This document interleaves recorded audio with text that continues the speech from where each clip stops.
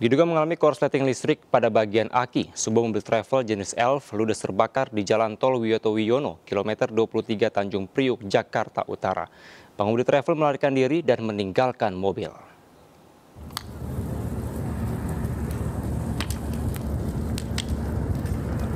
Kobaran api ini menghanguskan sebuah mobil travel jenis Elf yang ada di Jalan Tol Wiyoto Wiono, kilometer 23 Tanjung Priuk, Jakarta Utara.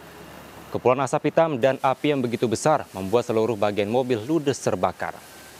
Petugas pemadam kebakaran sektor penjaringan yang tiba di lokasi bahu-membahu untuk memadamkan kobaran api. Diduga terbakarnya mobil travel jenis Elf ini akibat korsleting listrik pada bagian aki.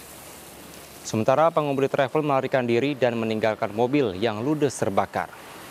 Untuk menghindari kemacetan panjang, arus lalu lintas dari arah Tanjung Priuk menuju Bandara Soekarno-Hatta hanya dibuka satu jalur.